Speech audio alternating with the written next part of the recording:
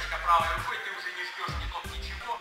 Но при этом по физухе это тяжело, потому что тебе постоянно надо бить, бить, бить одной рукой, она затекает, затекает, и тяжело выдерживать этот напор все время одной рукой. В общем, отличная работа, тебе очень рекомендую в таком режиме работать. Опять четвертом раунде травмировал я правую ногу свою, только отошла после спарринга, ну еще, думаю, залечу. Подписывайся на канал, ставь лайк, делись видео с друзьями, поддерживай меня и моих бойцов в нашей подготовке. До встречи в новых видео. Видеокурс «Техника ударов Муайтай». Изучи технику ударов руками, ногами, локтями, коленями и отправляй всех в нокаут. Ссылка в описании под видео.